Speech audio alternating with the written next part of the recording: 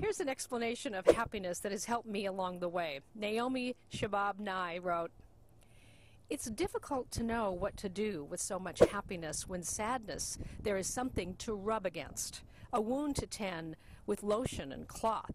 When the world falls in around you, you have pieces to pick up, something to hold in your hands, like ticket stubs or change. But happiness floats. It doesn't need you to hold it down. It doesn't need anything. Happiness lands on the roof of the next house singing and disappears when it wants to. You are happy. You are happy either way.